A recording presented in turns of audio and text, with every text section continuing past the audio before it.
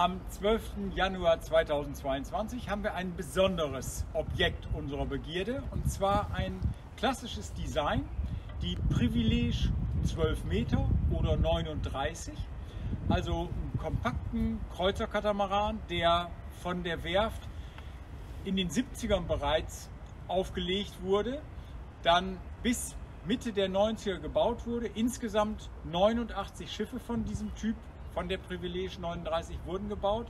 Wir haben hier die Baunummer 69, die wir jetzt hier in Bremen im Sonnenschein zur Besichtigung freigeben.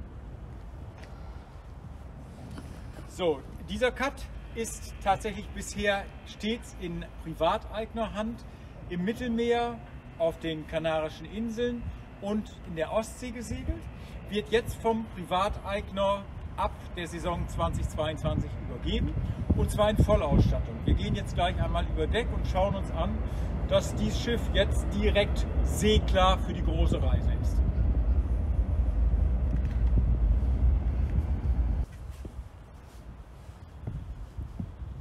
Das Besondere bei den Privilege-Designs ist tatsächlich dieser zentrale Mittelrumpf.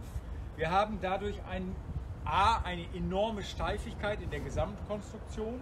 Es ist also nicht nur der vordere Beam, der hier die Rümpfe und das Rig steift, sondern tatsächlich eine komplette GFK-Mittelnase, die auch noch pfiffig genutzt wird. Wir haben also dadurch große Frontkabinen mit querliegenden Doppelkojen und mit entsprechender Belukung darüber und dann großen Stauraum hier auch in dieser Nase und eine extreme Steifigkeit im Gesamtschiff. Das ist das, was letztlich dieses Konzept sehr attraktiv macht. Und Privilege ist dem gefolgt. Also bis heute baut Privilege eben diese Rumpfkonzeption mit dem komplett in einer Form eingebauten Steifigkeitsbereich. So, dann haben wir eine umlaufende Seereling. Wir haben Sweden Balconies, und dann auch hier vorne alles mit Reling versetzt. Profil Rollfockanlage, festen Gennaker Pole für Vorsegel, Gennaker, Code Zero, Code D. 42 Kilogramm Pflugscharanker, Bügelanker, pardon, Bügelanker. Also das Schiff ist bestens ausgestattet für die große Reise.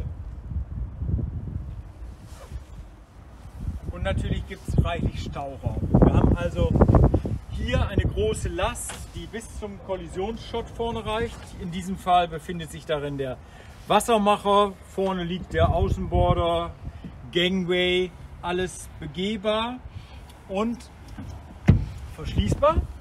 Dieses gleiche Segment auf Backbordseite ist verbunden mit dem Rumpf das heißt, hier ist die Option, eine Skipperkabine zu haben. Wir haben also einen Durchgang zu der Backbord-Vorschiffskabine, zu der klassischen Doppelkabine. Das ist eine Sonderheit auf diesem Schiff. Wir haben also vier Doppelkabinen mit Doppelkojen und auch noch optional die Möglichkeit, eine Skipperkabine zu installieren. So, dann haben wir überall an Deck reelle Luma-Luken mit auch inzwischen erneuerten Gläsern, das heißt also keine UV-Cracks. Hier ist die große Segellast, da ist der Spinnaker drin und Fender Leinen. Davor die Elektrowinch, auch von Luma. Ja, dann gehen wir mal nach Achtern und schauen uns das Cockpit an.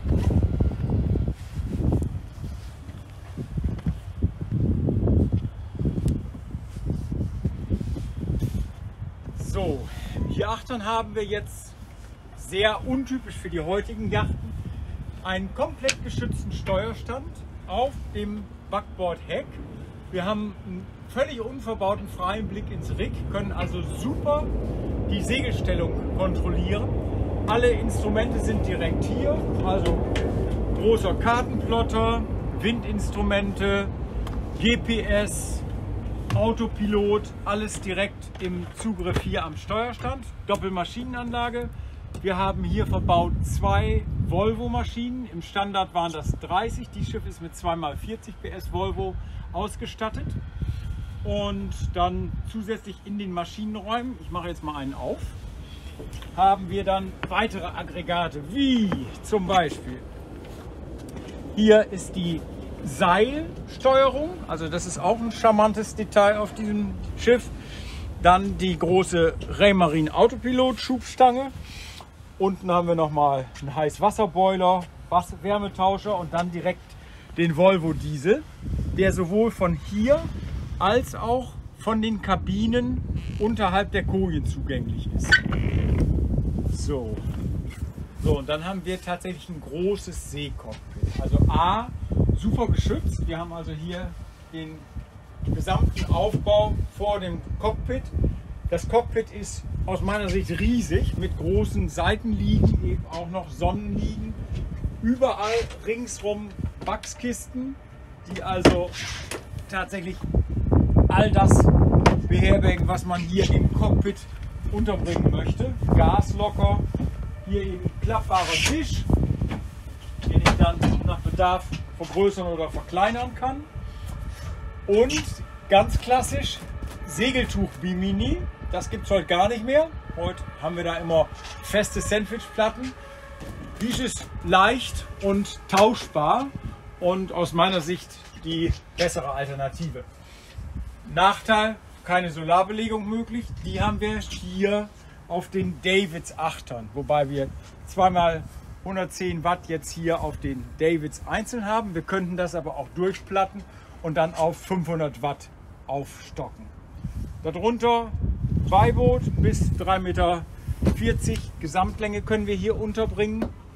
Dann sehr schöne Badeplattformen, Achtern, diese sogenannten Extended Scoops. Für den äh, Wasserabriss haben wir also lang ausgeführte Hecksektionen und die sind in diesem Fall wie überall hier auch noch original Teak belegt, nix Flexi-Teak. Und wenn wir das gesehen haben, dann können wir mal ins Schiff gehen. So, und jetzt befinden wir uns im Decksalon, der klassisch französisch 1,85 Meter Stehhöhe gewährt. Mehr ist es nicht. In den Rümpfen erhöht sich das auf 2,30 bis 1,95, aber das ist tatsächlich klassisch französisch die lichte Höhe. Ansonsten ein wiederum extrem konservatives Layout. Sie haben also hier die große Sitzecke im Salon. Da kann man tatsächlich mit sechs bis acht Leuten sitzen. Alle Holzoberflächen massiv mit äh, amerikanischer Kirsche ausgelegt und hochglanzpoliert also bestens glossiert. Auch alle Luken, Fensterrahmen in Holz, auch das etwas, was es heute nicht mehr gibt auf den Yachten. Den Tisch kann man dann entsprechend der Personalbelegung vergrößern oder verkleinern. Alles massiv amerikanische Kirsche. Gut, dann gehen wir jetzt mal in den Navigationsbereich. Hier also mit Hocker, tatsächlich auch äh, freiem Blick ins Rig. Man kann also auch wirklich ringsrum schauen, wenn auch anders als heute nicht mit senkrechten, sondern mit deutlich geneigten Fensterflächen. Hier nochmal ein zweiter ähm, Chartplotter, dann Elektronik, die gesamte äh, Verteilung über die Sicherungen hier am Kartentisch direkt. Kartentisch mit Kartenfach und dann denke ich, gehen wir mal eine Etage tiefer in den Steuerbordrumpf. So, das ist jetzt der Steuerbordrumpf, die Doppel-Achter-Kabine, wo auch die Liegefläche, die Doppelkoje querschiffs angeordnet ist. Direkt über dem Motorraum, der ist aber entsprechend schallisoliert und auch mit Lattenrost nochmal abgedeckt. So, und jetzt gehen wir einmal in das Vorschiff. Hier unterwegs Stauräume, Klappen, da ist die gesamte Sicherungsverteilung nochmal. Hier ein weiterer Kühlschrank. Dann tatsächlich ups, Schränke für all das, was man auf Weltumsegelung mitnimmt. Und hier haben wir dann eine komplett geschlossene Doppelkabine in diesem vorderen dritten Rumpf der Privileg mit eben auch Aufblick aufs Deck und hier dann dem Waschtisch und weiteren Schrankfächern. So, und jetzt gibt es noch eine Besonderheit des Privileg 39 Designs. Früher baute man durchaus die Escape Hatches in den Brückendecksbereich. Und das sieht dann so aus, dass man am Ankerplatz jederzeit wunderbar lüften kann und tatsächlich eben keine Leckage in den Rümpfen installiert. So, nächste Besonderheit des klassischen Designs. Wir haben die gesamte Pantry im Rumpf. Heutzutage kocht man ja gerne im Brückendeck mit Blick in den Salon. Hier haben wir eine klassische Seeküche. Das heißt also, man ist wirklich komplett im Küchenraum, auch bei schwerer See bestens konditioniert. Und dann haben wir hier die ein oder anderen Aggregate, also Stauräume ringsrum. Hier ist nochmal ein Kühlschrank. Hier unten ein besonders Gimmick, die Spülmaschine. Dreiflammiger Herd mit Backofen. Doppelspüle mit Seewasserhahn. Das heißt also, ich habe nicht nur süß, sondern auch Seewasser hier. Alle Luken, das sind auch sehr schöne Details. Luma hat früher tatsächlich noch richtige mechanische Aufsteller in den Luken gehabt. Und das funktioniert auch nach 30 Jahren noch wunderbar. So, weiter geht's ins Backbord-Vorschiff. Hier haben wir also symmetrisch wie im Steuerbordrumpf eine Doppelkabine mit Doppelkoje querschiffs angeordnet. Alle Luken direkt darüber. Man hat also auch die Option, direkt aus der Kabine an Deck zu turnen. Hier auch wieder der Waschtisch mit Fächern und die Sonderheit hier, der Durchgang in die Vorpeak. Vorne sehen wir nur das Kollisionsschott und ab da Tauchflaschen, Schwimmnudeln, all das, was man an Utensilien gerne woanders unterbringt. Und wir haben deshalb diese Tür die Option, hier tatsächlich eine Einzelskipperkabine einzubauen. Das ist sehr besonders. So, jetzt Kabine Nummer 4. Das ist also wiederum symmetrisch wie am Steuerbordrumpf. Haben wir hier Backbordseite, Querschiffskoje, über dem Maschinenraum Schränke und gute Durchlüftung, also ringsrum tatsächlich Fenster, die ich öffnen kann, auch im Seebetrieb öffnen kann. Und hier wieder den Waschtisch mit Spiegelflächen, Schränken darunter. So, und auch hier im Backbordrumpf haben wir die zentrale Nacelle, auch wieder mit Toilette, Dusche und letztlich Bilgensumpf darunter.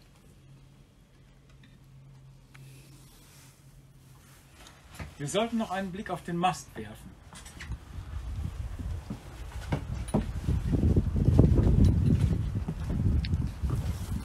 Was besonders ist, wir haben tatsächlich eine sehr enge Schotführung. Also direkt aus dem Cockpit können wir die Genua schoten. Und dann haben wir hier eben klassischen Aluminiummast.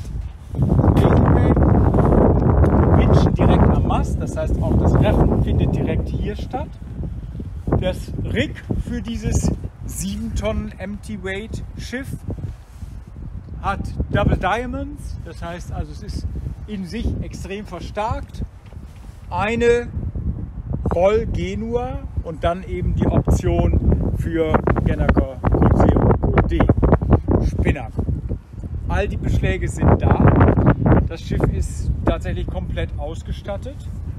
Ist altersgemäß im Zustand, ja, aber tatsächlich seeklar für große Fahrt und kann erfreulicherweise zu einem sehr günstigen Preis Verhandlungsbasis 159.000 Euro jetzt hier in Bremen besichtigt und übernommen werden.